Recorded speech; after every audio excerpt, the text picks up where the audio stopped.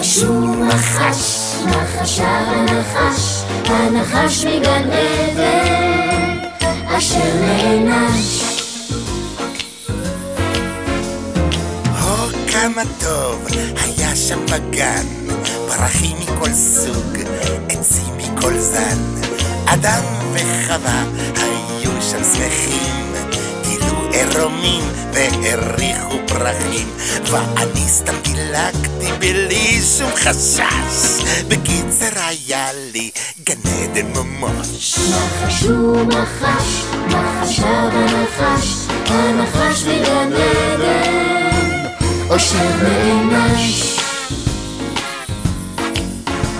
אך מה לעשות, גם בגן הירוק יש הוראות ויש סדר בחוק. אלוהים כך אמר. שמכל פרי מותר לקטוף לאכול עד כמה שאפשר. אך מפרי עץ הדעת ועץ החיים אסור בהחלט ובלי שום תנאים נחש הוא נחש, נחשה ונחש, הנחש מגן עדן, אשר נענש.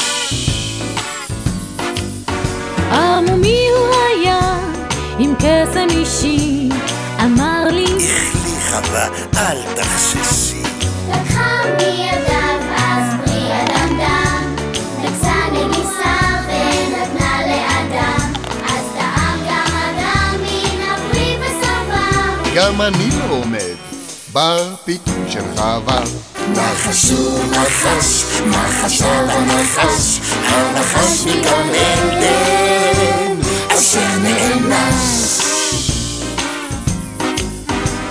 ואז כשבלעו את הפרי הטעים, הבינו השניים כי הם עירומים.